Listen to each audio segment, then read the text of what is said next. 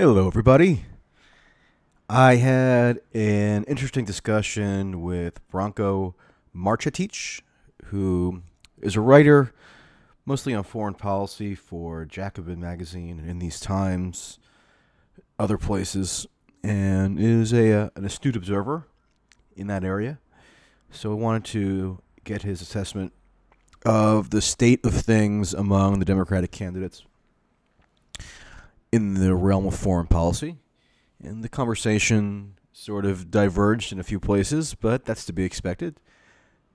I think, nonetheless, you will find it quite interesting. So here we go.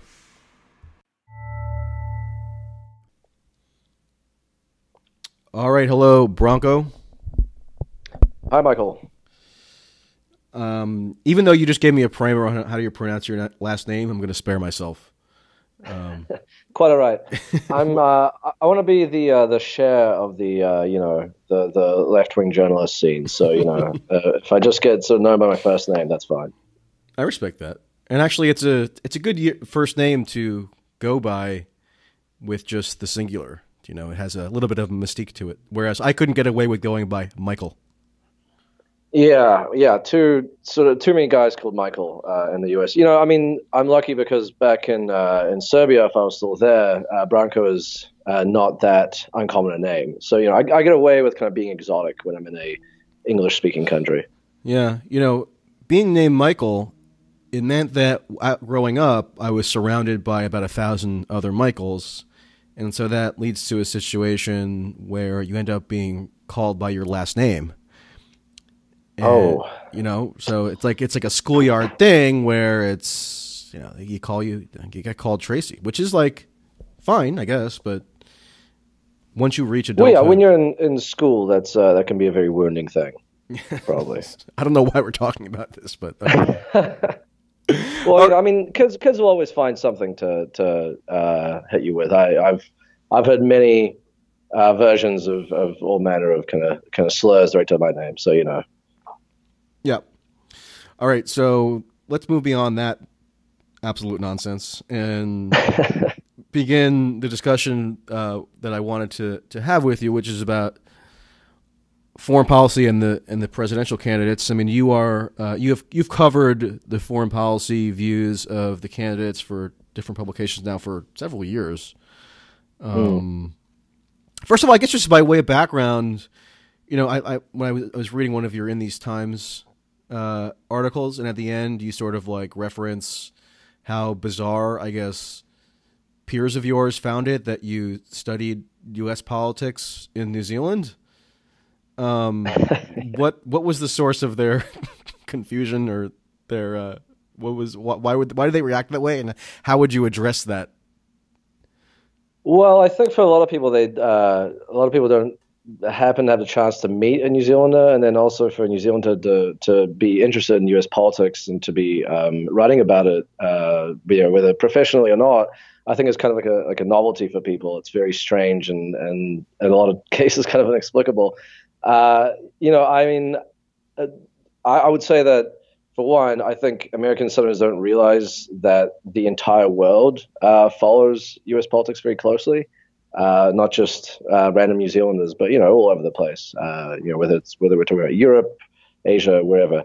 Um, you know, so I don't know if that's a thing that people realize yet, but but it's uh, what happens in the U.S. is of intense uh, interest. Uh, and people all over the world have very fierce debates um, about what's happening in the U.S. political system. In fact, I can tell you, I remember a time when I was taking the bus back from university um, in Auckland, New Zealand, and I and uh, I and a friend of mine we overheard a guy at the back uh, having a very spirited debate with someone about why Mitt Romney was the better candidate instead of Obama. So you know, there's people people even though they're not based in the U.S. have very intense feelings about um, you know whether candidates or, or policies that are being uh, pursued in the U.S. And um, except I, except at the except at the New Zealand embassy in Washington or wherever it happens to be located, I don't think you'd hear a single discussion in the United States about who would be the better Prime Minister of New Zealand?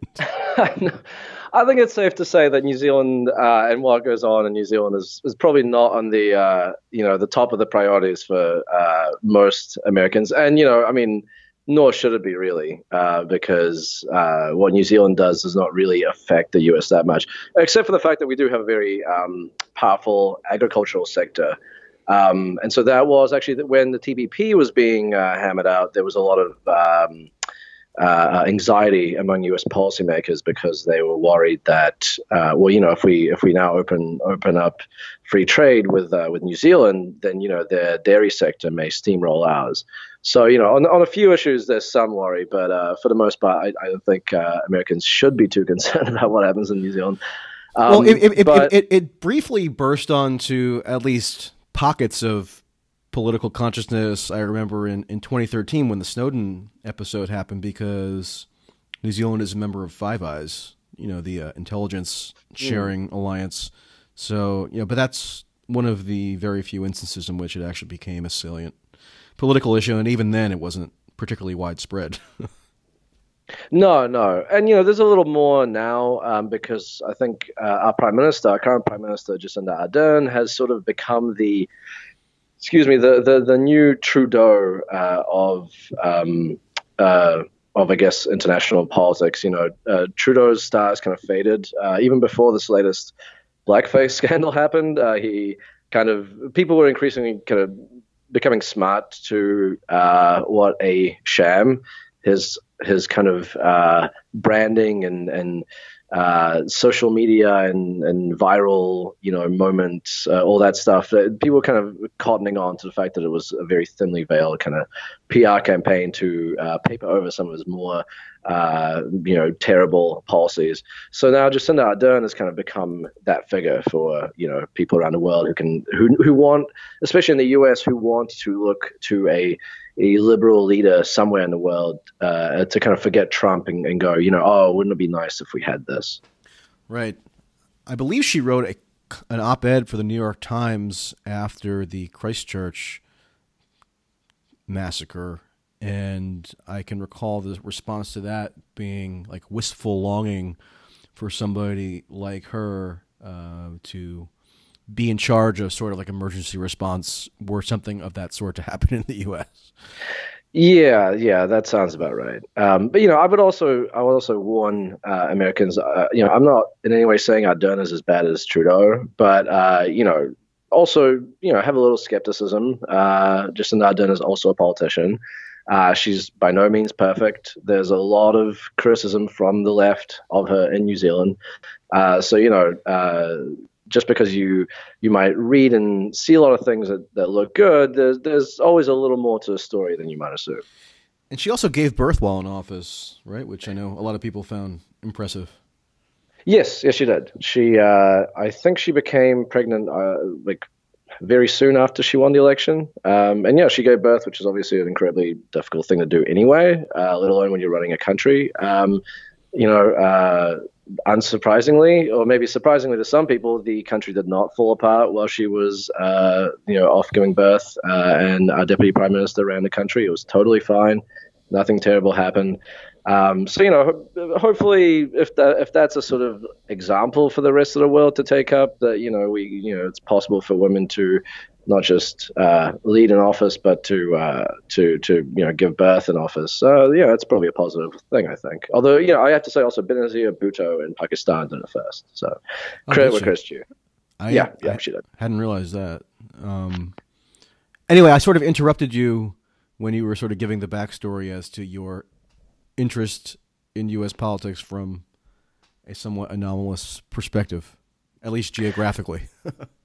Yeah, right. Well, you know, I I don't know where it came from. I mean, I I learned about American history in my last year of high school. I found it really fascinating. That you know that that I think was part of it. I had two uh, very great uh, teachers, professors in university who were American, and they taught American history at uh, Auckland University, who really kind of uh, nurtured students' interest in the subject. Um, and uh, you know, I ended up for when I went into into grad school, I ended up focusing on um, U.S. history as part of my as, as, well as part of my as my focus. Um, and that's sort of where I guess it sort of began. I mean, I'd always kind of obviously kept track of what was happening in the US. The US is one of the uh, more consequential countries in the world. I would, I would say. I think that's a pretty uncontroversial point. Well, I mean, um, the thing, I, the thing that you mentioned about most Americans not being aware that their political affairs are followed pretty closely around the world actually has a foreign policy element to it because Americans are also not aware that the United States is like the world's leading military power and has a military portfolio that spans literally the entire world. And you know that ignorance and I'm not even necessarily rendering judgment on people who are ignorant. It's difficult to keep track of all this. Um, but if you are not even familiar with that function of your government, then it might not occur to you that it would be of interest to people elsewhere. So I, I think it's sort of like it's an interesting when you put it that way. Yeah, and you know, I mean, I I know this fact tends to get kind of overstated sometimes, but I I do think that uh, a lot of Americans because they don't travel tons outside the U.S. And again, you know, this is a very big generalization, and there's lots of reasons for it. But I think part of that kind of limits people's perspective. And you know, I mean, I can understand that the U.S. is a massive country, um, and uh, you know, it's the size of a continent by itself. And uh, obviously, there's uh, countries on either side of it uh, as well. Uh, so you know, kind of going beyond North America may not seem like uh, even even necessary. But um, you know, whereas I think for a country like New Zealand and you know, very much like Australia as well, uh, because we're we're one we're small, but also the second thing is because we're shunted all the way, you know, on the sort of far corner of the world, away, away from where all the action is happening. Um, the, there is this kind of cultural drive to, to travel outside of our countries and and, and go and go to different places and, and live elsewhere and kind of see the world. And I think that maybe uh, imbues uh, New Zealanders with, with, a little more consciousness that they're kind of uh, part of the world, but not the world, if that makes sense. Right. Because I mean, you could you could spend your entire life as a U.S. citizen trying to see just the totality of what exists in the U.S. Never be able to do it. Right. So yeah, it, you know, so like that's actually something that I've aspired to do. Meaning, I visited pretty much every corner of the con- of the of the U.S. with the exception of Hawaii, uh, which I will do at some mm-hmm. point. Um, but you know, I, I the, the notion of being well traveled within the U.S. is something that I think maybe doesn't occur to you if you're from New Zealand, for example, because there's just so much to see, especially if you want to cover American politics. I mean, it varies regionally, as you know, um, mm. and so you know you want to get a lay of the land as comprehensively as possible, which sort of, in a way, precludes even entertaining becoming well traveled abroad. Um, at least that's how it's sort of worked so far in my experience. Although I'm going to try to rectify that at some point. Yeah, I mean, absolutely. It's a it's a massive country. There's uh, huge cultural and social and political differences within different regions, within, within different states, sometimes inside uh, of different states. Um, so yeah, I mean, and, and, the amount of stuff to see. I mean, I I cannot say that I've remotely traveled through uh, most of, uh, or even a, a, large fraction of the U.S. Um, but even that, you know, um, the, the, there's like even when you go on one trip, for example, there are like a hundred things that you would want to see that, that you want to come back to. But then, you know, if you if you do that, you've got every other corner of the country that you have to get to. So yeah, I you know that I think that that might be part of the reason why uh, the statistic about Americans, you know, whatever percentage has known passports. I think that might be part of it. I mean, the yeah, the U.S. is. I mean, you could you could maybe tell, tell me this for sure, but I mean, it's it's bigger than Europe physically. I think, right? Uh, I if you include Alaska for sure. I'm not exactly 100 right. percent sure on the on the continental U.S., but I mean, Alaska is like a mini continent in its own right. Right. It's, it's kind of insane if you you know compare it on a map with uh, the rest of the U.S. landmass. Um, but but yeah, it's uh, it's an enormous undertaking to even think that it's within your capacity to really understand the full range of political sentiments, at least in my case, um, in in the U.S. So that's why you know, traveling abroad, although I've done it a little bit, but it hasn't has been on much of my hasn't been on my radar as much as it might be if I had grown up in a place like New Zealand. Right. Yeah, yeah, which I think is fair. Um, and you know, I mean, that that's basically how I got my start in, in journalism uh, in general, but also in the U.S. As I, I traveled and I, I lived in the U.S. for uh, a year or so, and um, and yeah, I ended up sort of just uh, getting into journalism that way. So it's kind of funny in many ways. I'm uh, I, I, know more people and I'm better known in the US than I am in my own home country, which is kind of a hilarious uh, situation to be in. Well, if you ever write a memoir, that should be like the the animating theme where you sort of try to understand the implications of that for your life trajectory or something. Yeah, yeah, I'm a man without a home. right. Sort of, uh, right. windswept across the world. And you live in the U.S. now, right? Uh, I'm actually in Canada uh, okay. at the moment. Um, okay. Yeah, uh, in in Toronto. Got it. All right, so let's uh, let's do some foreign policy here uh, vis-a-vis the mm. presidential campaign. Um, I'm just, I guess just start with a broad question. What do you think is sort of like the main axis of disagreement now, at least among the leading contenders in the foreign policy domain. I mean, to the extent that foreign policy has really even been at the forefront of the debate, which it kind of hasn't, which is sort of another fault mm. of the process. But you'd think, like as we mentioned before, the country with the world's most powerful military, in fact, the most powerful military in world history, um, would have that higher up on the agenda. But but there's not. I mean, there's all kinds of clamor for uh, climate change debates and other issue specific debates, which is all well and good.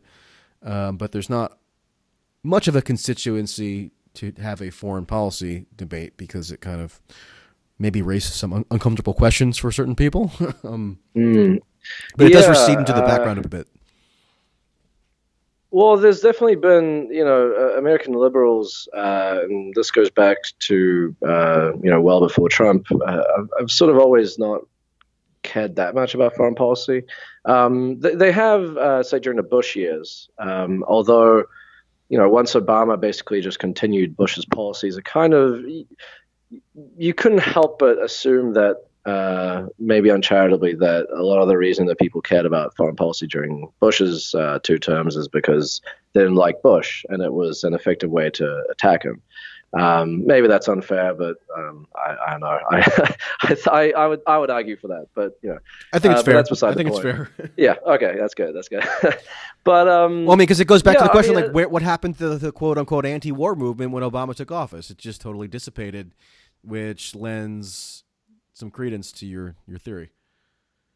Yeah, I mean uh, that actually there, there, was a book uh, or a kind of study, a book length study that was done about this um, by an author whose name I can't remember. I actually I've interviewed him. I've, I've read the book, um, and that's basically the point that he makes, which is that the uh, Democratic Party basically co-opted the anti-war energy that was happening uh, on the ground over Bush, and they kind of funneled it into first their um, their their midterm victories in, in 2006 uh, which were, of course were kind of undercut because they it was a huge wave election and they ended up uh, because of Rahm Emanuel uh, re- recruiting a bunch of right wing Democrats, uh, you know, blue dogs who obviously are very pro military, pro intervention, um, and then of course again under Obama, Obama campaign as an anti-war candidate. Uh, that was one of the main things to do with his uh, candidacy, why people liked him.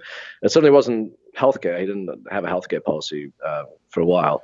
Um, well, but, he did have a know, healthcare policy. Things... Sorry to interject, but it's funny actually to think about this in hindsight. He did have a healthcare policy. It was a little bit underdeveloped, but the crux of his dispute with Hillary Clinton on healthcare policy in 2008 was that she wanted an individual mandate and he did not. And they sort of were at each other's throats for several months over that pretty narrow distinction that ended mm. up being utterly meaningless because Obama care included the image the the uh, individual mandate regardless. So like the, the the entire healthcare debate that transpired over many months in the 2008 primary cycle ended up just being negated and was like much ado about nothing. Uh, the Democrats. Uh, yeah. Um, yeah. And just to clarify, what I meant was just uh, uh, I, I don't know the exact time period, but it was it was when there was still I think John Edwards in the race, and um, for a while Obama didn't really have any clear cut health policy, and then it became this big flashpoint, and he sort of had to take it up. Ryan, Ryan Grim writes about this in his uh, his recent book, but you're you're absolutely mm-hmm. right. Yeah, the, during the debates the between uh, Obama and Clinton, that was a major flashpoint, which it didn't matter uh, whatsoever ultimately. Um, but you know, for, for it, it, would have, it would have been a little boring to say we'll just figure it out once Congress takes over. Like that wouldn't have lent itself to a really heated debate over the course of like yeah, right. twenty six televised you know forums and stuff.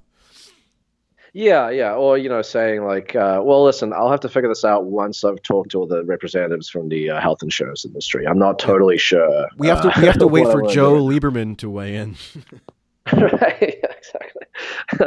but you know, which I'm is still, like literally uh, what happened. I mean, Joe Lieberman killed the public option. I mean, maybe yeah, maybe the, pe- the people listening don't recall this because they're too young or whatever. But you know, Joe Lieberman is not is regarded as a villain for good reason because he like almost single-handedly vetoed the public option from the ultimate Obamacare bill as a condition of, yeah. of his of his support. Absolutely, and and you know, uh, and his son is now running. His son is now running for senate. Uh, Obama didn't. Uh, the the president, the, the administration didn't punish him. They could have punished him by taking away, uh, uh you know, uh, his place in a committee or down down ranking him, but they didn't. Um, they just kind of let him let him destroy it, which maybe suggests that they weren't really that committed to um, you know a more robust healthcare reform anyway. Um, but yeah, I mean, uh, besides that, I mean, the thing that really made people excited about Obama that that was the main point of difference between him and Clinton, um, besides this this individual mandate thing, was uh, that Obama had uh, voted, or no, he hadn't voted, but he had opposed the Iraq War. Um, uh, early on. Uh, when obviously Hillary Clinton had voted for it. Uh, I think so had John Edwards. Obviously Joe Biden had. So yes, um, John had, that was John Edwards people... had, but John Edwards actually recanted that vote much quicker than anybody else. Um, not that right, it really right. matters that much in terms of his judgment during a pivotal moment, but he at least attempted to distinguish himself by relatively quickly repudiating the vote and saying it was a mistake, and etc. Whereas for Hillary, yeah, right. Hillary didn't admit it was a mistake until 2014. So it took her 12 years, literally. Yeah, yeah. Well, you know, it wasn't clear until uh, 2014 whether it was a right whether it was they'd gone wrong or not. So when she know. just so happened to have uh, a new book coming out and was preparing for another presidential campaign. Right. Yeah. Exactly. Uh, and I think, to be honest, I mean, even Obama's opposition to the Iraq War is overstated. Um, I, I, can't remember where I read this, but um, th- there was indication that actually he he wasn't that anti the Iraq War. Um, I think he had told someone that actually, if he had, uh, well, you know what, this is in. I, I, remember where this is in. This is in um, a book that came out this year um, called "A Crisis Wasted." Um, that's written by yeah, I know the book. You know the book? Okay. So, and this guy, the guy who wrote it, he's a Democratic insider, um, long time. You know, he was a Clinton uh, Clinton guy. He was involved in a transition, and he talks about how he remembers interviewing Obama. Um, I, I, think it was in 2004 or 2005 or something, and Obama basically said to him that you know, like uh, if if he had been in Congress when the vote had actually been up, he probably would have voted for the Iraq War. So you know, Obama's Obama got lucky because he did oppose it um, publicly eventually, and and he was able to, you know, he didn't he didn't have to have a vote, which um, which which left him able to avoid kind of making a, a, tough decision there. You know, does he does he go for the right thing or does he kind of join in the rest of the crowd and, and vote for the Iraq War? Hillary Clinton, Biden, all these other guys, um, they they didn't have that choice. They didn't have that luxury. They had to vote, uh, and they voted poorly, obviously. Yeah, um, but uh, I think you, you asked me. we're on a very uh, long tangent there, but you. That's okay. We're on a we're on a, we're we're doing a we we do it we do things in a roundabout manner on this this podcast. So okay, that's good. Totally fine. Um.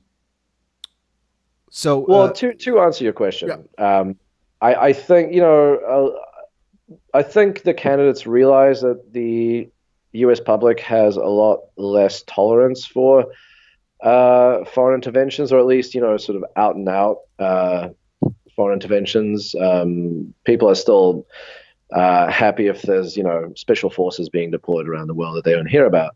But um, certainly, yeah, you know, uh, actual wars. I think I think there's a sense that the American public is is tired of all this kind of thing. Um, so I think that that isn't as much of a point of differentiation anymore. I think you know even so, pretty much every candidate is now talking about withdrawing from Afghanistan. Um, although there is there's obviously difference there between um, candidates about how fast they would withdraw, whether they leave forces behind, and so on and so forth. Um, I think one of the big and it, there's there's also a difference in terms of how committal they are, in terms of like a timeline. Would a residual force be left? Which are all kind of like weasel words to basically just continue the status quo because Obama had also ostensibly committed to withdrawing from Afghanistan, and it didn't ultimately matter because there was enough of a quote unquote residual force left behind that you could just as easily do a surge, and then it's like nothing happened. Right. Yeah. Yeah. Yeah. Exactly.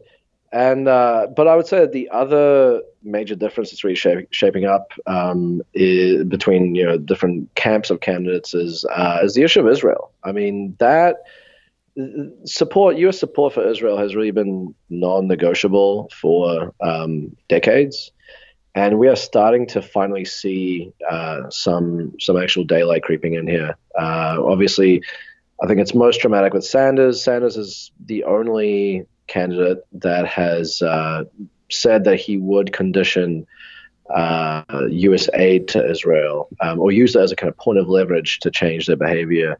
Um, I know some other candidates have said similar things, like Pete Buttigieg in his answer to the uh, Council on Foreign Relations. He said that, you know, he would consider maybe cutting some of the aid if uh, if uh, Israel annexed the West Bank. But that, you know, that's a far um, I would say that's a far different uh, policy than what Sanders is talking about, which is actually uh, whether they annex the West Bank or not, uh, using the aid as a sort of uh, way to make Israel change its behavior, maybe um, sit down to talks, you know, uh, or who knows what else. So I think that's a really big thing. You know, you look at the Democratic electorate right now. Um, people are more uh, the Democratic voting population anyway is more on the side of Palestinians than it has been in a very long time. It's increasingly not viewed as politically risky to speak out against Israel and, and the actions of Israel's government.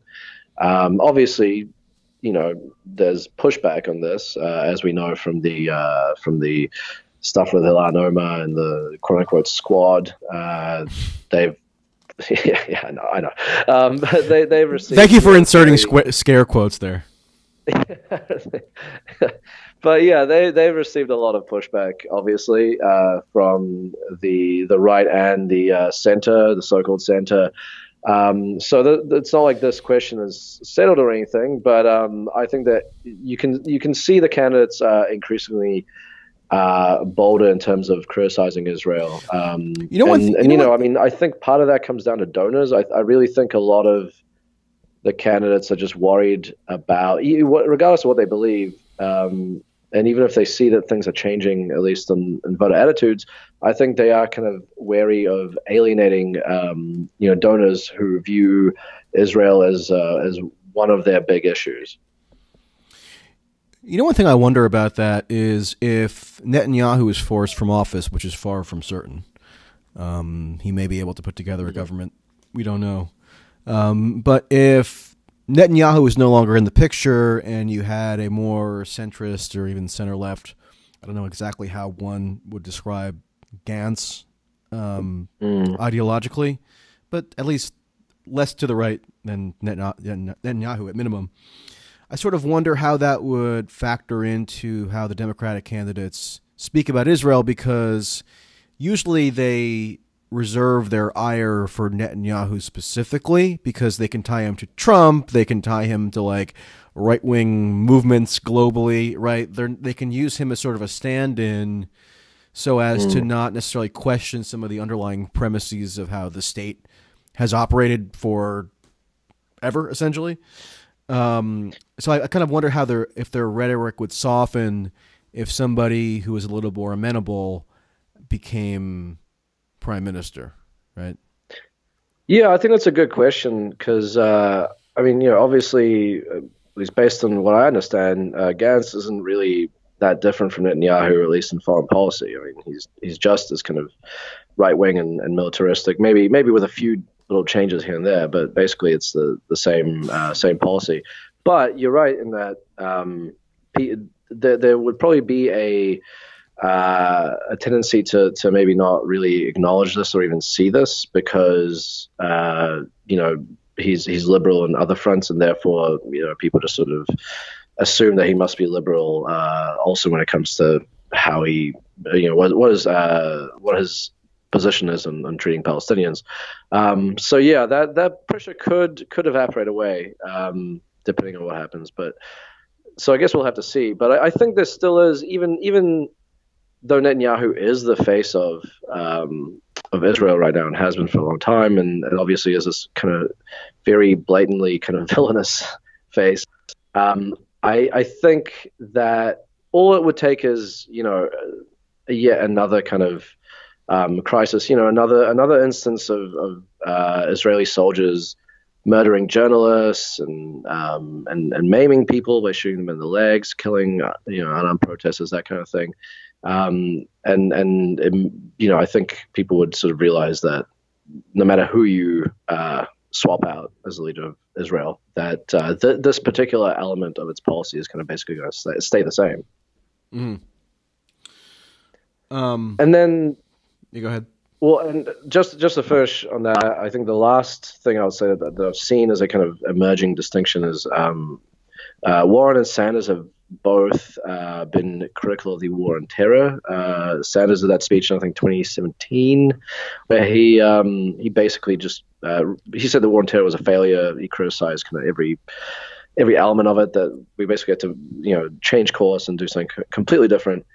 Um, Warren Warren hasn't gone quite as far as he has, but she's um, said things along those lines that basically you know just bombing people into oblivion forever and ever is not really a sustainable or effective solution to what is happening in the world. Um, and I haven't seen that from a lot of the other candidates. Um, I can't think of anyone really who has articulated that. So I think that's another difference. How important it's going to be in the election, I can't say. Like you said, foreign policy hasn't really come up as a particularly um, big topic uh, in this election, despite the fact that obviously the U.S. president has more power to shape foreign policy than anything else. So we'll see. You know, I think it's one thing. I, I know the speech that you're referring to from Sanders in 2017, but at least in terms of your paraphrase of the Warren comment, I sort of wonder how to uh, think about that because it's one thing to say, no, we can't keep up bombing our way out of problems for in, in perpetuity. But it's another to say we are going to cease bombing these particular locales, like Somalia, for example, which we've been bombing regularly for years. I don't know that you would necessarily get a commitment from Warren or perhaps even Sanders to refrain from all bombing of a particular country because it's futile, right? I think that I think it's much easier mm. to talk about it in the abstract Whereas there's always going to be somebody who says, "Oh, if a certain terrorist or something shows up in Mogadishu on the outskirts somewhere, you got to bomb them, right?" So uh, it's a mm. it's a it's a little bit more uh, difficult when you when you get into specifics, and I think what tends to be done is that specifics are avoided in foreign policy, so the candidates can give themselves as much latitude as possible when they're actually in a power in in, in a position of power uh, to to make those decisions.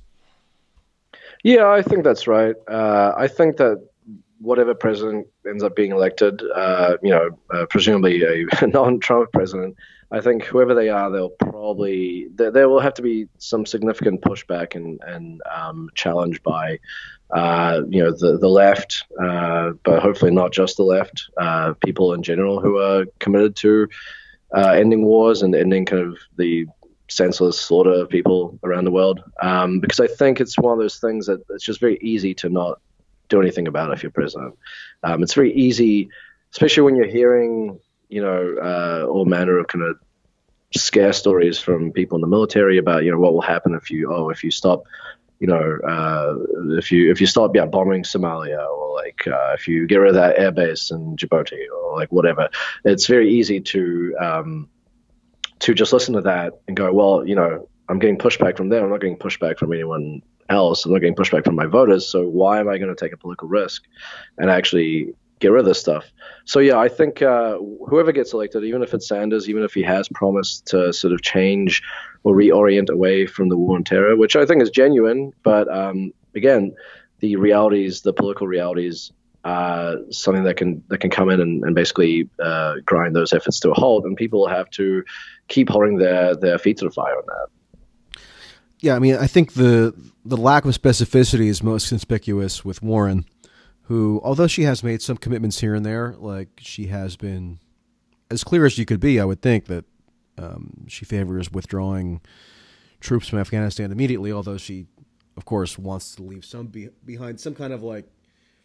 I think she said she wants to leave behind. I have the quote here. Hold on a second. Oh, she said we should redouble our efforts to support the Afghan government and civil society as they work to promote the rule of law, combat corruption, and the narcotics trade, which reads to me that she's going to leave behind some combat troops because if you want U.S. forces to be involved in all those functions, it was would probably necessarily entail some form of combat at some point, right? If you want, if like you're if you're uh, you know saying that it's it's it's within the U.S. purview to combat the narcotics trade. I mean, do you think that the narcotics trade is conducted with you know flowers and bunny rabbits? No, I mean that's probably going to entail probably the exchange of gunfire at some point. Right. Yeah, and um, I mean Warren's climate plan or part of a climate plan, which was basically just to um, to kind of greenify the military, but essentially maintain the uh, the huge presence that the U.S. has overseas, um, which is a far greater contributor to climate change than you know the fact that bases and stuff aren't green. Um, I think that sort of suggests that she. Um, it's probably not something that she's going to really be looking at uh, too much. I mean, you know, you can look at some some previous uh, previous votes and, and people's record. Um, I mean, Sanders vote against John Brennan, uh, of course, uh, who was famous uh, for basically, you know, being the, the the kind of architect of Obama's drone policy. Um, Warren did vote for him. Um, you know, I'm not saying that that means that Sanders is going to uh, do a radical turn away from from the existing drone policy. And in fact, if uh, you read some of his public statements, it seems clear that he's going to maintain. Um, uh, that's definitely what he said in 2016. I haven't seen anything uh, that, that says otherwise. That he wouldn't keep it going. Um, uh, Brennan, by the way, he, also the architect of uh, RussiaGate, arguably, but that's another issue. Yes, very much. If not the architect, I would say certainly one of the um, the main kind of uh, prime uh, movers uh, proponents. Yeah, the, the, one of the main propagandists, kind of yeah, going on CNN and, and other shows and, and pushing that narrative for, for many years. Uh, which, yeah, I would say that there's there's an interesting connection there. Yeah. Um, but yeah, so I think uh, I think with, when it comes to, to that kind of thing, I mean, yeah, probably all of the, the candidates have been super specific. Um, but, you know, I mean, I, I do think Sanders has gone further than the other ones. And again, people have to make sure that he actually lives up to his word. But if, if he really is intent on taking on climate change, I mean, it's just in, in, indisputable. The U.S. cannot maintain the massive global footprint it has now and uh, and actually uh, get where we need to be when it comes to carbon emissions. You were actually fairly critical in much of what you wrote about Sanders in terms of foreign policy uh, during and I think and then after I think the uh, the 2016 campaign. I actually have a quote from one of your 2017 pieces. You said that his quote relative silence on Obama's foreign policy has mirrored his fairly conventional foreign policy thinking throughout his Washington career, and you contrasted that with Jeremy Corbyn, who you think thought was a more ideal uh, exemplar of how to challenge convention in the foreign policy mm. arena. I mean, do you think that yeah. you think that that 2017 speech, which I think came later, and other subsequent developments have sort of uh, cut against what you said there in, in 2017, or, or how do you think about it now? Yeah, yeah, I uh, I definitely feel far less harshly towards him on foreign policy now. Um, not just because of that speech, but uh, you know, you had some of the stuff like uh, his his role, really the leading role in making the um, the War Powers vote uh, on Yemen happen. Uh, that was a really big thing. Uh, I think not just because it showed that he had grown and perhaps seen that there was political space for him to to go back to his more kind of anti-war roots. Um, I mean, you know, one of the things I will say I was a little unfair about him in that in that original piece was that I didn't talk about some of the uh, very good stances he took, you know, uh, over uh, the Reagan administration's Nicaragua policy, for example, and, and other elements of U.S. foreign policy right. during the '80s, which I think is is when he was in know. when he was in a municipal role. Granted, yeah, so. yeah, exactly. Which, are, yeah, so very, very different, very different set of pressures there, um, of course, uh, and the fact that he kind of went more towards the center once he went into a more national role, I think, showed that ultimately, you know, his priority wasn't as much foreign policy um, as some of the, the, the more domestic stuff.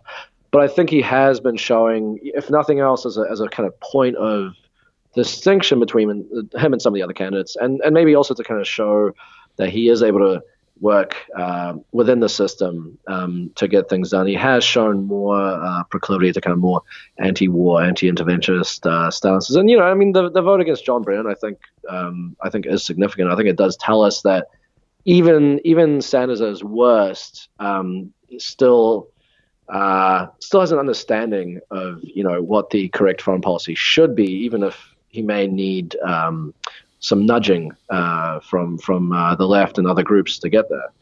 Um, but yeah, I I I, I, think he has he's done a lot better. I think you know the hiring of Matt Duss, for example, uh, right. is a really good indication of where he wants to go in foreign policy.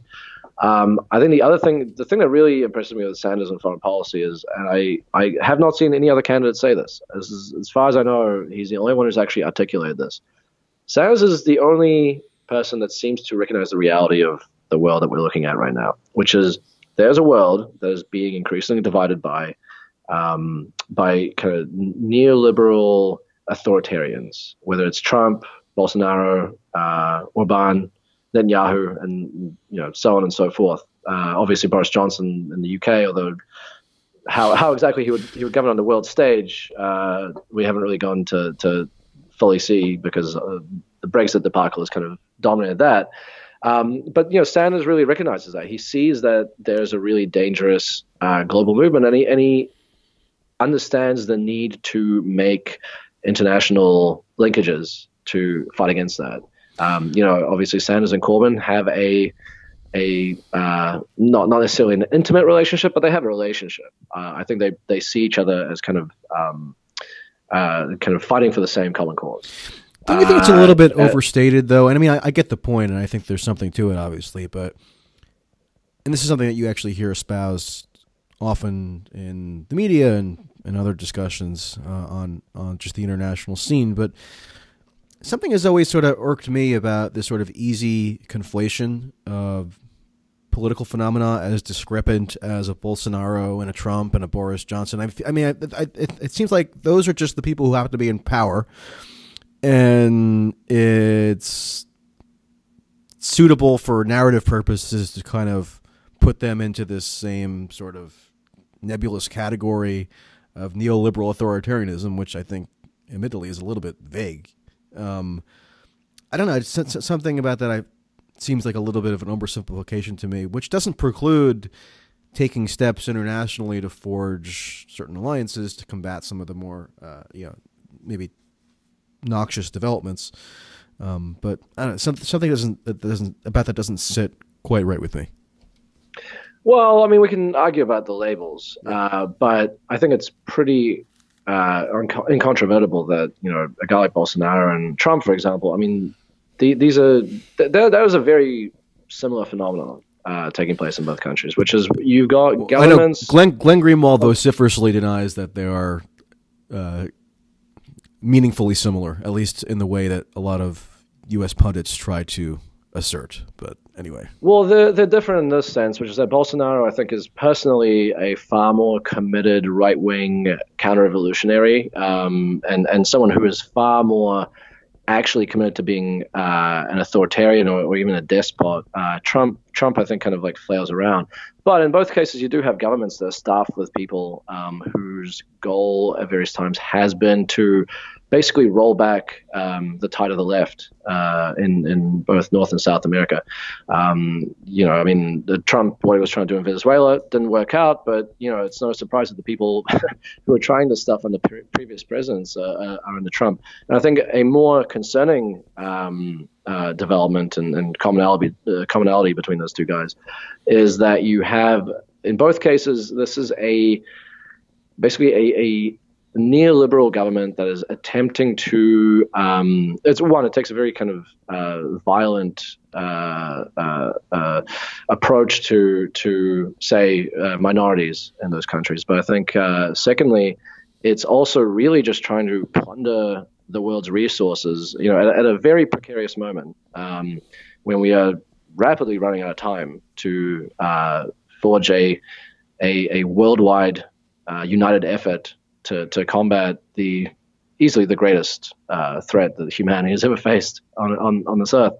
Um, and both of them are basically just throwing logs onto the fire, throwing logs and gasoline onto the fire uh, that they do not care about, that they, they're just sort of trying to exploit as much as possible in these last dwindling moments before we can actually get together and, and do something about it. So I think that's a really important point. Um, yeah, I mean, uh, is I don't know if you describe Netanyahu in the same way, but obviously Netanyahu, he he you know he can see which side of the bread uh, side, his bread is bad on. He's he's trying to make alliances with, with these guys, um, and I think uh, even if even if Netanyahu doesn't have the same kind of ecocidal motives as um, as the Trump and Bolsonaro governments does, um, I think uh, he does realize that he can make common cause with these guys. Um, that you know they, they see the world in a in a similar way, and um, and also that he can he can get protection from them um, around you know especially in a world that is rapidly turning it, turning it against the Israeli government. So I think it's important to realize that, and I and I think to be honest, other than Sanders' few speeches I've seen on this, I, I don't know if anyone even realizes this. I don't know if anyone realizes that that you know, the the only way that we're actually going to solve the climate crisis, which which as far as I'm concerned should be the organizing principle of uh, not just U.S. foreign policy, but but global foreign policy. The only way we're going to get through it is if, if we find a way to deal with um, people like Bolsonaro and, and Trump, and you know uh, Scott Morrison in Australia, for example, who isn't isn't a kind of authoritarian or anything, but um, very much in the same vein as kind of just this this uh, you know, late stage kind of neoliberal plunderer. So um, I, I, wish that I wish that this was talked about more than you know, oh, Iran might get a nuclear weapon, which you know, if Iran had a nuke, it would not change anything. It, it really wouldn't. I mean, one nuke, Israel has something like 300. Um, although we don't know because Israel's totally secret about what how many nukes it has and what its capabilities are. Um, so yeah, I, I, think that is the biggest threat, and I, I wish that we talked about it more um, in, in, the in the discourse. Mm-hmm. uh, one more point on on Sanders. I actually went back and watched a couple uh, segments from the 2016 primaries that were foreign policy focused between Hillary and Bernie, and I hadn't remembered this, but at a certain point when Hillary at least began to perceive Bernie as something of a threat, such that she had to formulate talking points and arguments to counter him. She began saying that although it was true that she did vote for the 2002 Iraq War authorization, Bernie had voted for the Iraq Liberation Act in 1998, which was then cited as part of the justification for the the war resolution, and I hadn't realized that she had actually been talking about that. And it's it's actually not a bad point, um, and it it goes to the sort of critic, critique that you were laying out, at least in 2017, about him in the earlier part of his career, kind of being somewhat ensconced, ensconced in, in conventional wisdom, foreign policy wise, where he apparently didn't perceive that passing such an act, meaning the Iraq Liberation Act, which essentially codified a call for regime change in terms of U.S. the U.S. code, um, uh, could be used later on. You know, in this case, just four years later to to to uh, initiate a war. Um, so to me, that's actually one of the the more glaring examples that, if you're not familiar with the history, you might not uh, be aware of. Yeah, uh, I think that is a, a really important thing. Um, and you know, obviously, when Sanders says that you know he he, he led the effort against the Iraq War, obviously that's that's a slightly incomplete record. There's there's more to it than that. I do think that there's a major difference between passing that act, even as, as significant as, it was. Don't get me wrong. I think there is a difference between that and then in 2002, uh, you know, in in an administration that had made very clear that our policy is is going to be th- getting rid of Saddam, and and we are this is the thing that we are focusing on. We're going to launch a a very sophisticated campaign to try and get everyone on board. And when it actually comes down to voting for the authorization for that war, you know, whether you vote yes or no, I think that is an important distinction. Oh, sure. It's obviously um, an important distinction. I'm yeah. just saying that at least the narrow point that Hillary was making there in trying to, in some sense, implicate Bernie in the, in the policy trajectory that led to the vote had some validity to it, even if it didn't at all compare with her role, which was hugely significant in her uh, capacity well, in the Senate. Yeah, well, you know, this shows you how uh, things have changed since um, since even even you know 2015, 2016, uh, which is that I think Sanders didn't really care that much about foreign policy, or at least he didn't think it was anything that was worth focusing on. I think he just wanted to kind of get his message about inequality and corruption and, and you know, climate change and everything else out there. And I think uh, the increased one, I think the fact that Trump uh, won uh, the Republican nomination on the back of, you know, disingenuous, but nonetheless, um, the kind of anti-war rhetoric criticizing Bush and criticizing uh, the Iraq War, and at one point even saying that you know Libya was a mistake, even though we know that he he said at the time that it was the right thing to do. But nonetheless, uh, this is what people you know, thought about him. This is what he was saying um, when he was most visible uh, on the in the public uh, arena uh, to a lot of people. And I think the fact that, that he won by that, and, and you know, by the way, there's a study that, that was done in I think 2017 or 2018 that um, looked at some of these counties that Trump had won in, in those key uh, blue states that had, that had switched. Um, and a lot of those places had uh, kind of a, a, much or markedly higher number of, of people who had died, uh, whether in Iraq or Afghanistan, um, which may may have been part of the thing that that turned people away from Clinton towards Trump. Who knows? But I think all of that, um, coupled with a renewed uh, role for the left in U.S. public life, I think all that has given Sanders um, one. It's not just been like a, it's been a hint to be like, hey, this is something that you should take seriously and focus on, and and this is important. And I think it's also uh, given him the space to kind of uh, go and kind of really pursue a much more anti-interventionist foreign policy and, and, and make these critiques of, you know, I mean, he now always puts the military-industrial complex as part of his kind of um, uh, stump speech list of, of enemies that he's taking on. Um, so, you know, I mean, again, it, it just shows leaders are important, but also you, there has to be a, a wider uh, movement that's kind of kind of uh, behind them and, and and forcing them to do what they need to do. One thing that frustrates me is that Bernie will uh, occasionally bring up that Biden voted for the Iraq War, and he contrasts that to his leading the opposition, as he calls it, which is essentially the same thing he said about Hillary in the previous cycle.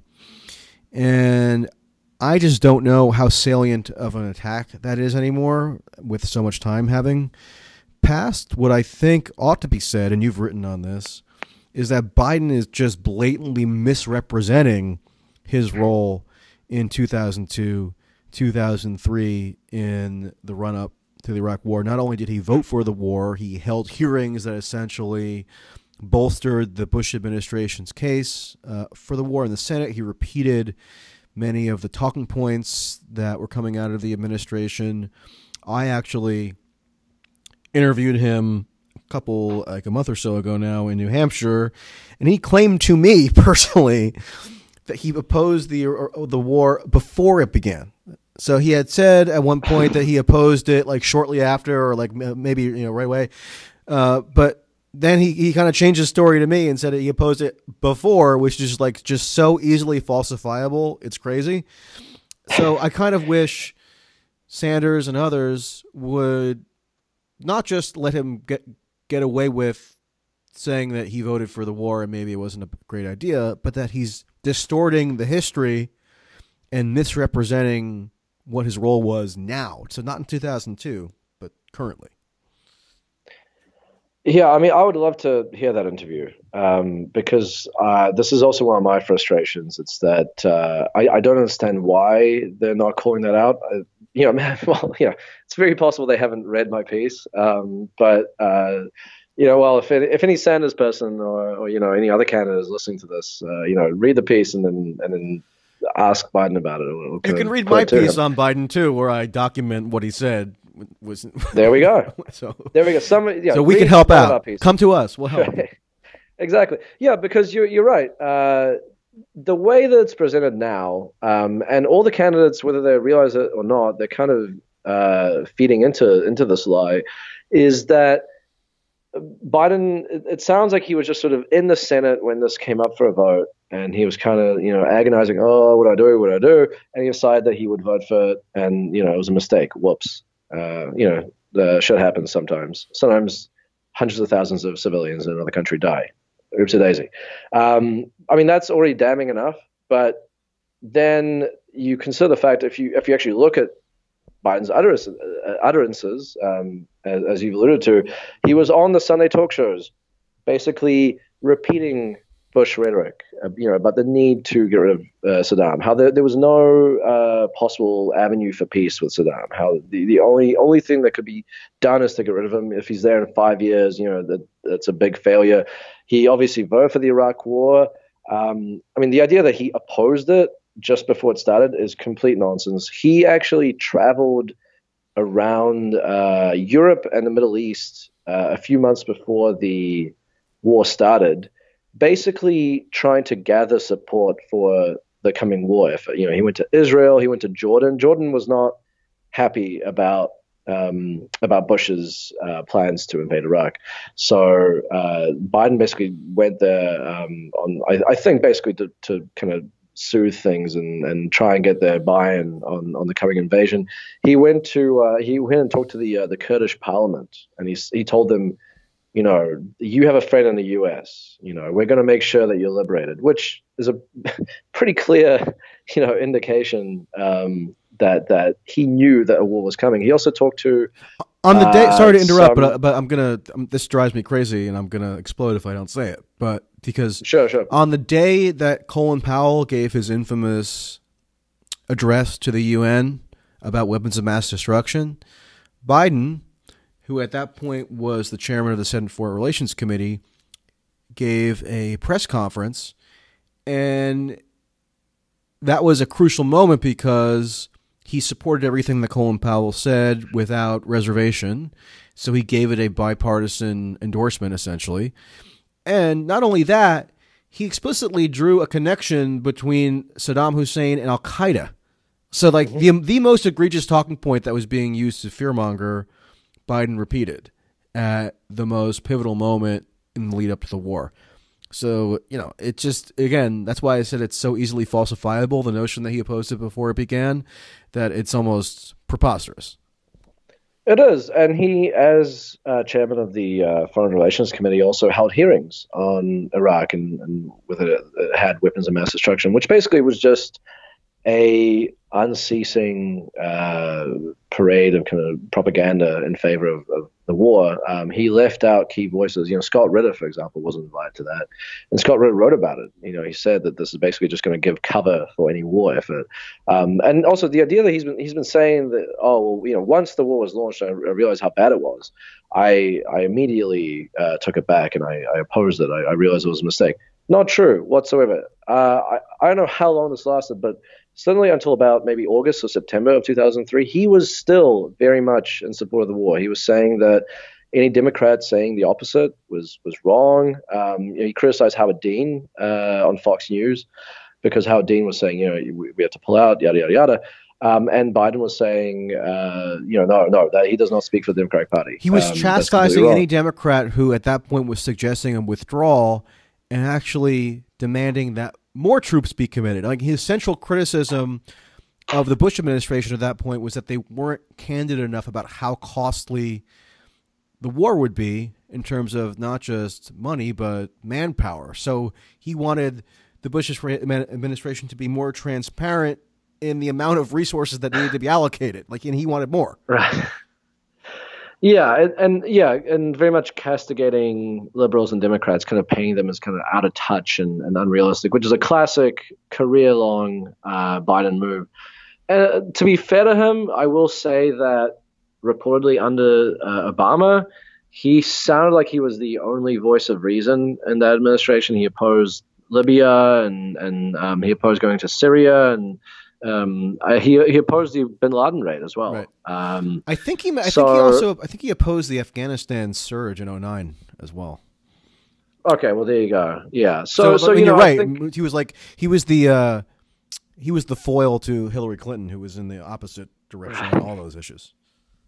Yeah, yeah, exactly. Uh, at the same time, you know, now he's he he's been backing uh, Guaido in Venezuela and saying that um, you know the the Maduro needs to be toppled there, and so you know it's it's yes. Uh, during the Obama administration, it sounds like he was uh, not quite as hawkish as the rest of them. But um, the thing about him is that you just you just don't know. You really don't know.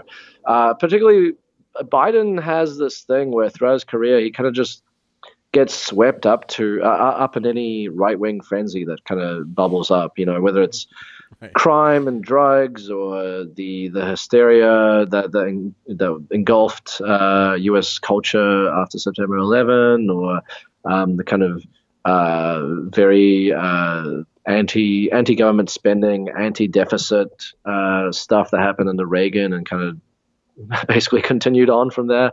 Um, he always kind of gets gets embroiled in these, and, and he kind of his move is that he just takes it further than even the the right does, um, to kind of prove that he is just as tough and you know what have you, serious, I guess. Uh, and then so I, I mean, I think for me the issue is if he became president, how long is it before something happens that that creates another you know right wing frenzy you know whether whether it's around invading Venezuela or God knows what and he succumbs to it because he he's worried about the political fallout if he's uh, you know seen to be not right wing enough. He's also borderline senile, so who knows what kind of influence can be exerted on him if he were actually in a position of power at this point. Yeah, which I mean even that that's doubly scary. Yeah, Yeah. I mean it could be that the the Biden who had learned his lesson from Iraq was like the the lucid Biden, you know, and then this the one that we have now who's kind of still seems to be uh, you know living in uh, in the time that he was a, a lifeguard at that swimming pool. Um, that Biden may not uh, remember the lessons of the Iraq War and some of these other wars that he supported. Right. Uh, so you and I have had uh, exchanges about Tulsi Gabbard in the past. I'm just curious if you, if you followed her campaign uh, rhetoric much in the past couple months, and if that has altered your relatively pessimistic view about her. You know, for example, I just watched a um, a presentation that she made in uh, New Hampshire uh, two or three days ago, and she was talking about how um, she was somebody brought up nuclear weapons, and she was talking about how dangerous it is that you, the U.S. nuclear weapon stockpile is still on hair trigger alert, um, which meaning that they could be launched in a matter of minutes. And she actually advocated that they be taken off hair trigger alert, which is not something that you hear much discussed, um, but is obviously like existentially important potentially. Um, so it just seems to me like in, in following her pretty closely, she does cut against the grain and bring up issues that otherwise tend to get um, obscured, even if you don't agree with her uh, her approach uh, hundred percent. So so has anything modified your your view on her? I think that uh, a lot of the stuff that she's brought to the table in this campaign has been good. Uh, that's one example. I think she was also one of the few, maybe the only one, um, to comment on the Julian Assange uh, arrest and basically say this is a, this is a bad thing. Uh, Bernie eventually did, but she was the most forceful and the uh, earliest. Right, right, yeah, and and very very quick off the mark, uh, which is good.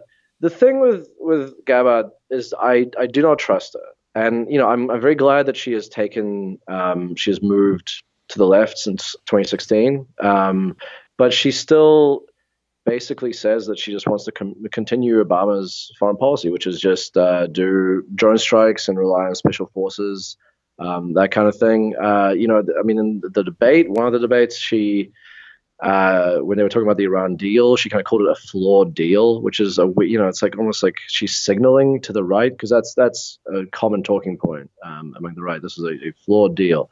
Um, hers is a little she more nuanced. Su- she did she support says, the deal. The best we have. She did support the deal. Though. She did well. She did eventually. I mean, she until she voted for it, she was not into it. She was very critical of it. She actually voted to increase uh, uh, sanctions, new sanctions on Iran once the uh, once Rouhani was was uh, elected, which uh, really undercut the the prospect for peace. I mean, it happened ultimately, but th- this is not a thing that uh, anyone on the left and even a lot of Democrats were, were happy about. They, you know, increasing sanctions on Iran at that point was a very sensitive time. Um, and she and, and she she did eventually vote for it. That's true, but it came after a lot of stuff that was kind of in the opposite direction. And and that deal, the vote for that deal, did come after a lot of heavy lobbying from the Obama administration because this was this is viewed as one of the administration's great uh, potential foreign policy accomplishments. So she kind of fell into line, and she was very critical of the deal um, when she voted for it. So I mean, you know, I'm not saying that that's necessarily disqualifying, but um, I think taken... it's a, I think it's a little much to say that she would just continue the Obama administration's foreign policy when her signature issue, arguably, was opposition to what she regarded as an ill-fated regime change initiative that the Obama administration waged in Syria. So that's a key difference between her outlook and that of the Obama administration in Syria. I mean, uh, Libya would be another example.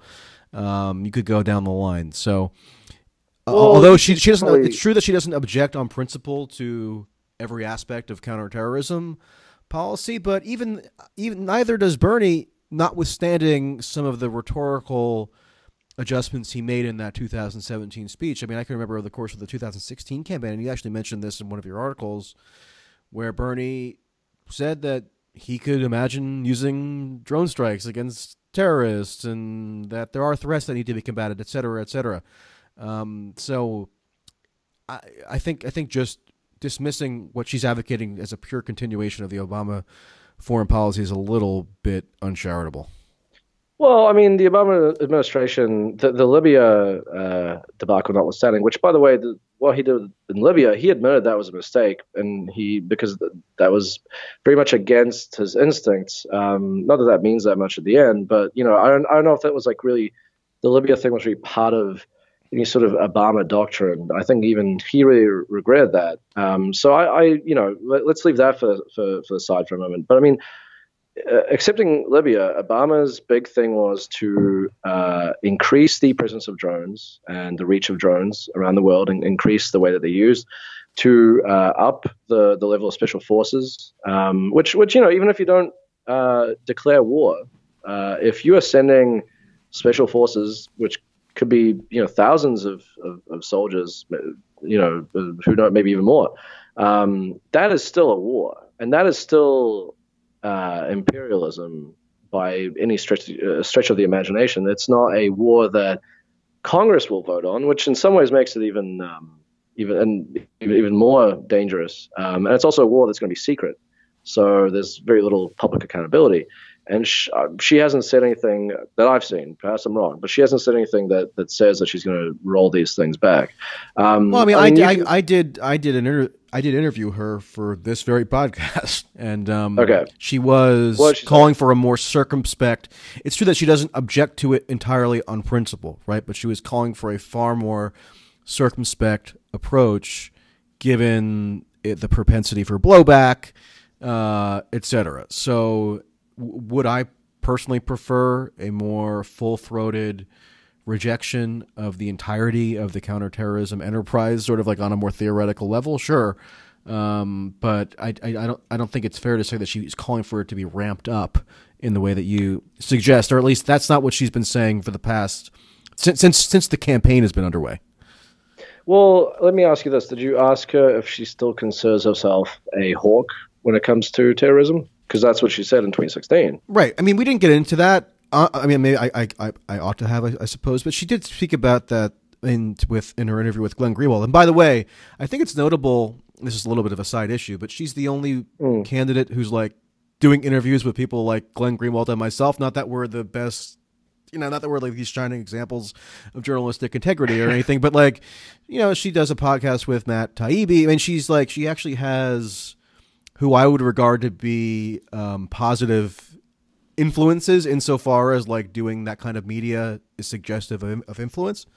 Um, so that gives me a little bit of a of a, uh, a more of an appreciation for who at least she regards as like within her sphere, you know.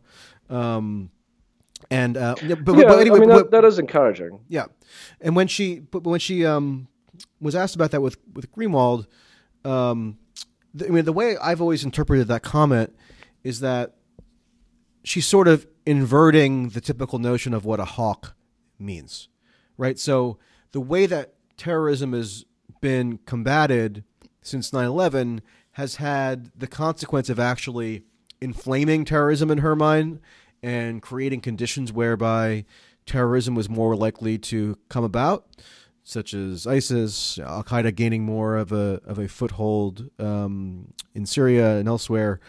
So she's actually saying that the the, the quote unquote hawkish way to combat terrorism is the opposite of what's been done in terms of the predominant U.S. foreign policy paradigm. And she focuses on regime change principally, but the reason being, she feels as though that has fueled and fostered terrorism. And actually, if you want truly want to combat it, you have to change just the basic premises that underlie U.S. foreign policy. I mean, for example, she's she gave an interview with NPR in July, I believe, and she was asked, "Do you uh, think that any what U.S.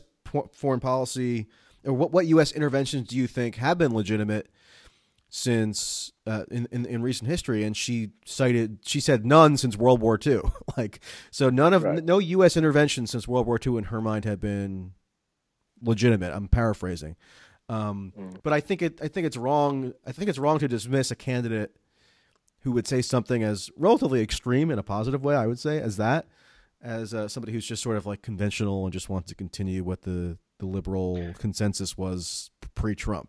You know. Well, I mean, that is the liberal consensus. I mean, Obama would describe himself the same way. He'd say, I don't want to do more regime change. I think it's the wrong thing to go in and, and try and topple a dictator. Obviously, he did that during Libya, but again, he came to regret that. Um, and, he, and he actually he shied away from his threat uh, and, uh, when he was going to strike Syria. Um, obviously, the Syria policy is bigger than that, just that one act. But, but still, I mean, Obama would say that he's actually doing the more responsible thing by using what he calls surgical strikes, quote unquote, which, by the way, is the same thing Gabbard says.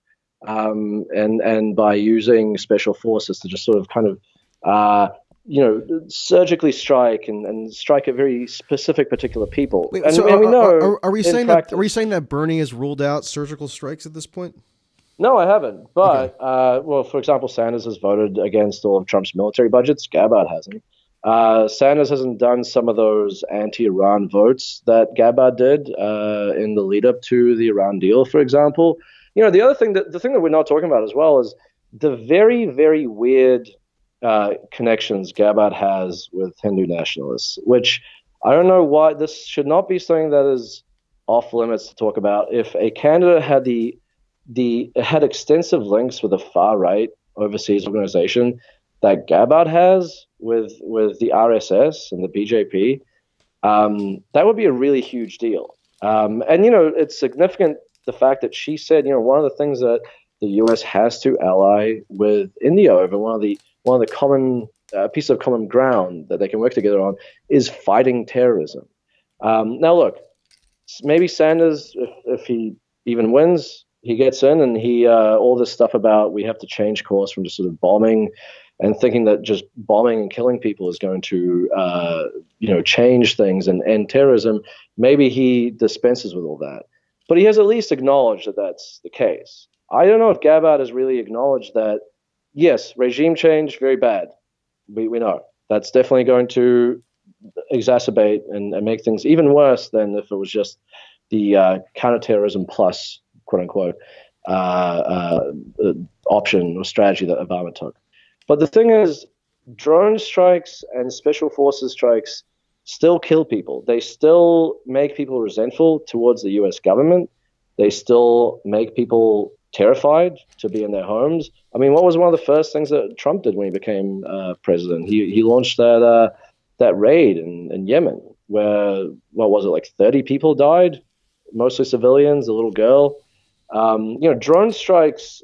It's really worth acknowledging how destructive and, and psychologically damaging drone strikes are. They're very often, uh, well, one, we don't actually know uh, for sure how many militants they're killing because uh, Obama, of course, put it so that um, any military age male that is killed by a drone um, counts as a militant.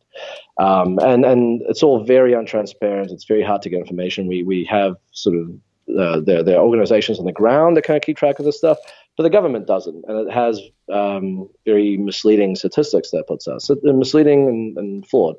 Um, but but people are dying. A lot of people are dying, and even if they don't die, I mean, imagine the terror of going about your life and knowing that if you hear that noise, that that distinctive noise of a drone flying, that this could be the end. You know, I mean, people people were killed uh, at weddings. You know, the happiest day of their lives. They were they and everyone they knew was slaughtered in just the space of I don't know uh, a few minutes, maybe half an hour. Um, that is, if if we if that keeps happening, it's it's not going to matter if you don't do regime change because terrorists are going to keep springing up um, because you know there's there's still this far off power that is just launching um, death from the sky uh, at, at, at, you and your family for no particular reason, um, and that's going to keep creating terrorists and it's going to keep creating people who who want to hurt Americans, and again whether Sanders follows up on his speech or not would, that remains to be seen. But he at least acknowledges that that is not the case, that that that, that will not work. And I don't know if Gabbard has. Um, I, I, mean, I think I think, is, I, I think I think she has acknowledged that in, in certain respects, probably not in the wholesale way that, that Bernie did. And you know, I, right. I agree with you in terms of the terror wrought by drone strikes. So no disagreement on the substance there. It, it's more about what she has said to acknowledge what you just laid out there, I think I think is a little more extensive than perhaps you appreciate. And then also on the issue of oh, all, and, but what, and, what has she said about drone strikes and special? Because to me, okay, look, I, I totally understand the uh, support for her as kind of the anti-imperialist candidate, as a candidate who's kind of willing to go further than anyone in terms of challenging these kind of basic precepts of U.S. foreign policy. I totally get that, but she she's not she's not willing to go as far as she could. I mean, if she wanted to make this really the issue and and someone who's completely different from the rest of the field, why and, and even different from someone like Sanders, then why not say we need to move away from from this aspect as well and be better than Sanders on it? And the fact that she won't, I mean, I can't call I can't call her an anti-imperialist uh, if she's still very much uh, focused on eradicating terrorism through just kind of bombing random villages in the Middle East. No, that, that's fair. I mean, I think it's it's more a matter of, of emphasis for for her. You're right that she overwhelmingly emphasizes the regime change aspect, which even if it's sort of conventional wisdom now or approaching uh, conventional wisdom in the Democratic Party to be at least in theory against regime change, the way that she discusses it, I think, is a little. It's a. It's more. Um. It's more comprehensive, and uh, it's it's more rooted in like in a philosophical uh, niche that she's she's carved out, and I just don't think like. Maybe I could ask her more about it, right? But I don't know that have any of the candidates really been asked about drone strikes recently. I just don't know that it's it's enough of a hot topic where they're being held accountable for what their their views are. It's just like it's so it's a matter of like what gets brought up that she hasn't discussed it. I, I agree, but this is her issue. I mean, this is this is like uh, like Sanders, you know, whose whose big issue is kind of inequality and the uh, the the domination of, of the country by wealthy interests, not being asked a very basic question about you know um, about that that subject. So I mean, I, I think that she does have to answer for it. And listen, I would love to be proven wrong. I would, l- I would very much love it. It would be great to have someone who is a consistent and far more radical voice uh, against uh, the direction of U.S. foreign policy for the last, uh, you know, um, at least 20 years. Uh, you know, ideally more. So that would be great. Um, I'm not. I'm not sold yet that Gabbard is that person, but you know. Uh, it may well be that in the uh, in the coming years, because um, you know I, I assume she'll be in the in the political, political scene for a while, uh, it may well be that we uh, that, that she kind of maintains this position, and um, and and if after you know I don't know four years, maybe more, um, I see that she really has you know committed to this and and and and really has reoriented the way she thought about it, um, I'll be very willing to say you know I, I in the same way that I that I happen about Sanders, I'll be very willing to say, you know, um, I I think she has moved, and, and that's good, and, and we should really have another closer look at it. That's fair. And uh, just to, just very briefly, because you mentioned the, the Modi thing, I think I don't want to sound like an apologist, right? I know that's going to be the inevitable accusation, but I do think that the the links and the ties that people assert between her and the RSS and such have been a little bit overstated. And I don't want to dwell on that because I want to wrap up soon because we've been going for a while. So, so one final, yeah, that's fair. one final question. Well, uh, can I can I um, just say just yeah. on on that topic, there was a piece written for the Caravan, which is an outlet I'm familiar it. with. Uh, very exhaustive. I mean, it took me like over an hour to read.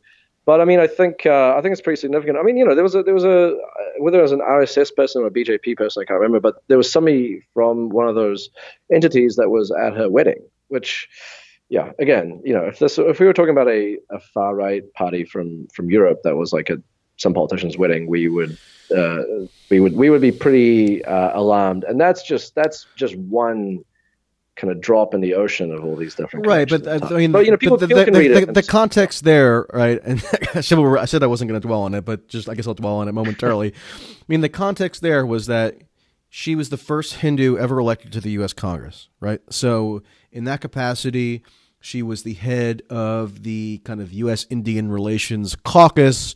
She obviously wanted to forge ties with what was then the ruling party in India at the time of her, her, her wedding, right? For for that's her diplomatic approach. She wants to forge ties with everybody, which you can agree or disagree with. Um, and and so obviously her being a Hindu attracted a certain amount of interest and intrigue amongst especially the American uh, Indian di- diaspora, most of whom, by the way, are Democrats, um, who have given to other Democratic Hindu candidates in terms of financial contributions. Um, so, uh, you know, I, I, just I feel as though um, the, the, the, the ideological implication in that in this in the in the uh, the notion that she had this direct somehow political affinity with those people be, by dint of those quote unquote ties seems to me a little uh, overstated. And I, I, did read that long. Well, people, yeah, I mean, people should read that piece and, and make up their minds. But I mean, would we say the same thing about Israel?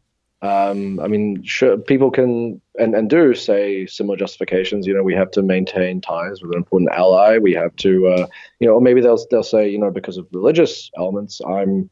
Uh, this this is why I, I, have all these links to kind of far right uh, Israeli figures or something.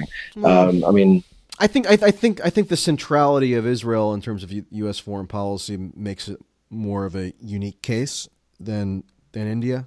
Um, in terms of why that would be troubling if you could ascertain those quote unquote ties. Um, but anyway, yeah, people could, could read it for themselves. I, I yeah, yeah, I, I, think yeah, we probably won't end up agreeing on this, but I, you know, people should read it, and they may not agree with me. They may well agree with you, but uh, yeah, the caravan uh, is the is the publication. Right. Okay. So, final question here. Um, now that we're in the midst of this uh, Ukraine gate flare up, what do you think? Mm. What do you think that portends in terms of like in, in, terms of foreign policy? Because one thing that drives me nuts about it is that the core allegation, right, is supposedly that Trump used U.S. military aid to Ukraine as a, a point of leverage to extract a commitment from Zelensky to uh, investigate whether it was Biden or whether it was the origins of the Russia investigation is sort of like muddled. Um, but in, in, in, any event, he was he he wanted uh, to the allegations that he was using military aid as a as an instrument of of, of obtaining you know uh, political benefit for himself, and everybody seems to forget that the question of whether it's wise or sound policy to send military aid in the first place is like something that's still like a live issue that probably warrants a little bit of consideration. Like they get totally drowned out in the midst of the partisan furor, uh, and that's that that aspect to me has just been maddening. Yeah, uh, you know, this issue is just it's it's so tiresome and and just uh, dull in many ways. Uh, not because it's not necessarily that there's interesting things to it, but it's just the the rhetoric, the discourse around it is so divorced from reality and unhinged and and just uh, in some well actually in, in, many cases just flat out wrong. Um, that it's it's it, yeah I I've honestly kind of disengaged from it. I I've kept up with it a little bit. My my thoughts on it are this First of all, it's not clear to me. I've seen multiple people claim different things because I thought the issue was that he had used the military aid and kind of it was hinting that he would condition it on um, basically the Ukrainian president, the new Ukrainian president, uh, finding or you know perhaps just making something out of thin air about Biden and the uh, the Burisma uh, the controversy. But then there's other people who are saying that the problem with this, uh, the, the, the, the, kind of impeachable offense, the, the great crime involved, is that he tried to get another country to involve itself in the U.S. political process, um, which is if that if that's what people think the crime is, then of course the question is, well, why why was it okay for Hillary Clinton to uh, work with Ukraine to get dirt on Trump? It's literally the exact same thing. Um, but people just pretend like that either didn't happen or they just pretend that it's a conspiracy theory, which is absolutely not. Politico reported on it.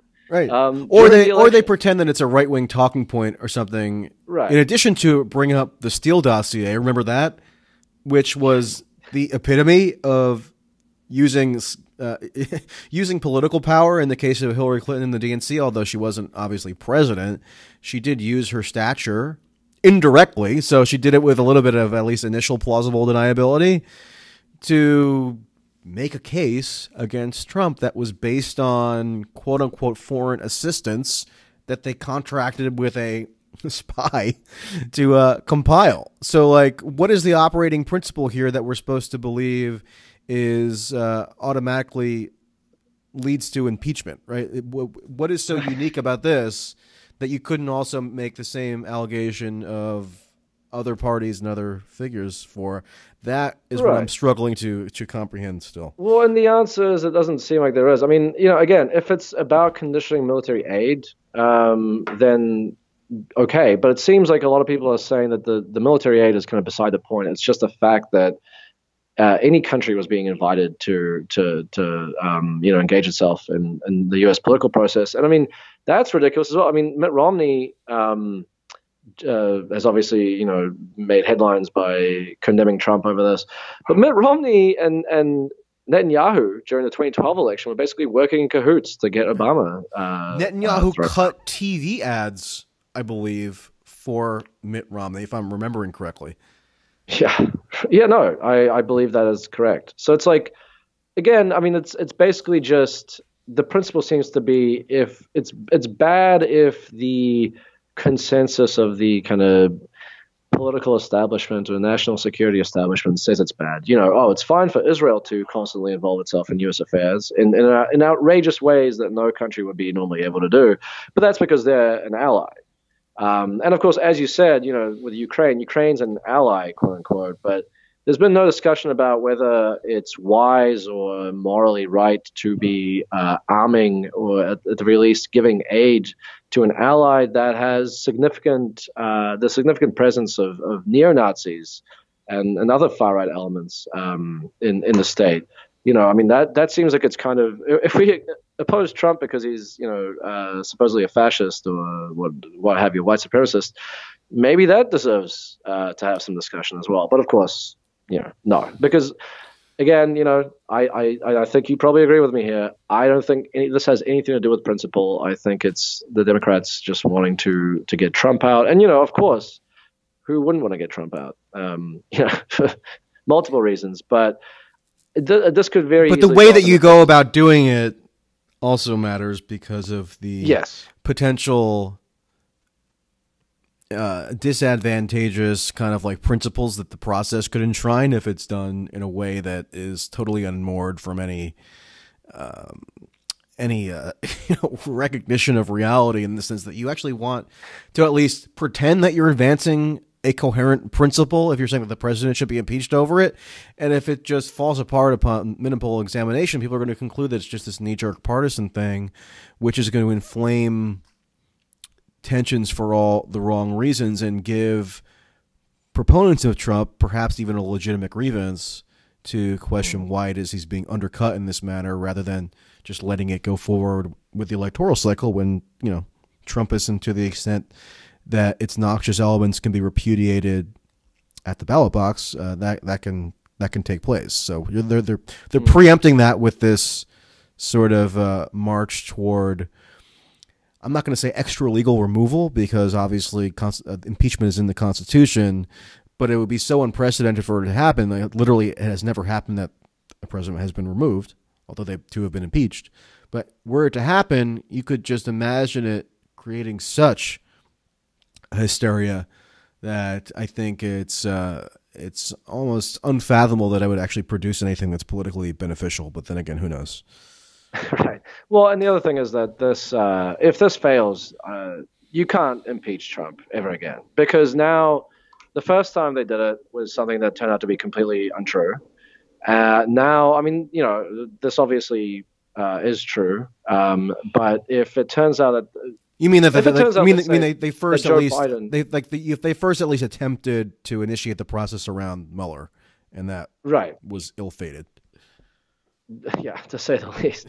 Um, and the thing is, I mean, it's it, you know, it seems based on the reporting. I know Bloomberg has said that it's just the, the claim that that uh, there was an investigation into Burisma and, and, Biden's son when he had the prosecutor fired was completely wrong. Um, but let's say that it does turn out to be true, because uh, correct me if I'm wrong. Biden hasn't like actually explicitly denied um, uh, that this didn't happen. I think he said, you know, there's no credible outlet that gives it credence. That doesn't mean that it actually happened, but I don't know. It's a little when you when you just say outright this is completely untrue. I don't know. But perhaps perhaps that's nothing. But let's say that I mean he's he's denied all wrongdoing, which right. kind of allows him to evade getting into the specifics. Yeah, right. Well, and, and again, it also depends on how Trump phrased the request, um, which I'm I'm not off the top of my head 100% sure how he did it. But let's say that in the course of this impeachment, they find out that because uh, I think they're actually going to do a, an investigation again in Ukraine as well. Let's say that they find like maybe if Biden didn't do that, but that there was really some serious um, you know, uh, shady stuff going on between, you know, what, what his son was doing and, and, and his position as vice president. Well, that essentially vindicates Trump. Um, I mean, you know, maybe, the, the, Democrats have to hope that that is not the case because if it is, that completely undercuts the entire thing they're saying because it makes Trump look like the hero. Like, oh no, he was actually doing the right thing. He was he was uh, using military aid in order to to crack down on corruption. So we'll see. I mean, you know, uh, I don't know. If, if you're Joe Biden, you got to be sweating right now because this is going to just lay lay out for the, the public just how um, how again how dirty and kind of corrupt the Democratic Party is. Um, you know, uh, maybe maybe not as bad as the Republican Party, but but pretty bad, and that's uh, that's not great going into an election. What do you think this does to just the wider political climate? Because this is sort of a theory that I've been advancing, which is that when everything gets distilled into this binary choice of impeachment versus no impeachment, it kind of constricts the range of acceptable political discussion into this pretty tiny box um, and I struggle to see how that benefits, for example, Bernie, who obviously is trying to expand like the paradigm politically for what's available to to people. Um, I feel I just it, it just seems as though if everybody's laser focused on impeachment for the next like four or five months or something, I, again, it's difficult to predict, but I, I have a hard time imagining how that benefits him. It's not as though, you know, the um, the procedural minutia that's attendant to impeachment, such as you know what articles are going to be referred to what committee and what witnesses are going to be called, et cetera, et cetera, like uh, what statutes were violated. That's not really in his political wheelhouse. um, so uh, I sort of mm. question uh, whether whether a, a political climate con, uh, dominated by this is conducive, in particular, to to his interests. I mean, but obviously, who can say? But that's just my sense. Yeah.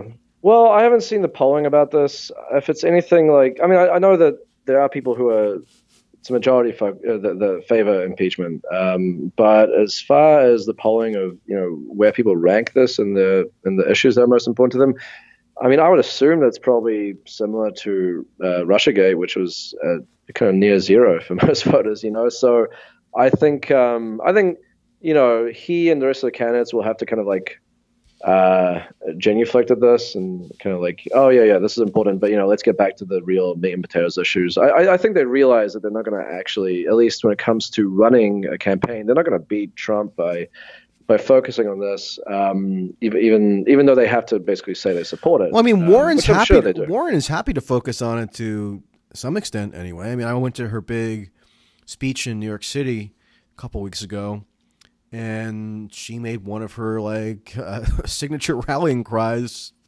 we must impeach Trump. So like it's something that she mm. does hmm. bring up on her own accord because she obviously perceived there to be some political benefit in her talking about it a lot. Um, right. So I just I, well I, I, didn't know that. Yeah. Uh, yeah. I mean maybe it's like part of her stump speech. It, you know. Right. Right. I, I'm sure it could probably it ties into her kind of drive for anti-corruption because you know this is a, an example of corruption. The problem there, though, is I mean, the Biden Hunter Biden thing is also an example of corruption. You know, when Warren was asked about that, uh, when asked, you know, would your vice president, would their child be able to sit on the board of a, a foreign company? Um, she she said yes, and then and then instantly said, oh, actually, I'm not sure. I have to I have to check. You know, so if she's going to make this a centerpiece of her campaign, I think she has to be ready to say that what Biden did was wrong as well. And that that's sort of the issue that when you actually make this a center point of your kind of candidacy, uh, you run into these issues because she's going to. I mean, you don't want to you don't want to be stuck on stage having to defend what Biden did or like waving it away, particularly if you're someone like someone like Elizabeth Warren whose entire thing is about good government and, and ethics and, and rooting out uh, the influence of, of money. Um, I mean, the other thing is, I, I, what do people think is going to happen when they impeach him? I mean, you know, I think Trump deserves to be impeached for all manner of heinous crimes um, that that are far worse than this Ukraine thing. But what do people think is going to happen? I mean, even if you get rid of him, they haven't thought that deeply about it. right? Yeah. I mean, Mike Pence would possibly even be more dangerous than Trump. I mean, the the one thing we know about Trump is that he's at least inconsistently committed to um, to to uh, uh, kind of avoiding war. You know, he he has at times, again, very inconsistently, very inconsistently, but he has at times pushed back against some of the some of the war stuff. He called off that Iranian uh, strike at the last minute uh, because apparently Tucker Carlson called him. Um, I don't think Mike Pence would do that. I don't think right. Mike Pence is going to get a call from Tucker Carlson and then change his mind um, at the last minute. There so, was re- there was reporting actually recently about that Iran incident that said you know Pence was shocked and dismayed when Trump called off the strikes at the last. Minute, oh, good. Right. So great. well, there you go. You know, I think that that's a thing that no one ever really talks about. I mean, I guess it's everyone assumes that it's not going to work, but um, I don't know. I mean, if you're really committed to this as a serious policy, shouldn't you discuss like what the the post Trump strategy is? I don't know. I don't know. It's a mess. That's all I know. Yeah. all right. So uh, why don't we leave it there? Thank you for having a protracted discussion. It was uh, interesting. I hope. Quite all right. Yeah, it was. Uh, it was enjoyable. All right, maybe we'll do it again sometime. learned a lot. Yep. Yeah, for sure. Take care. All right, take it.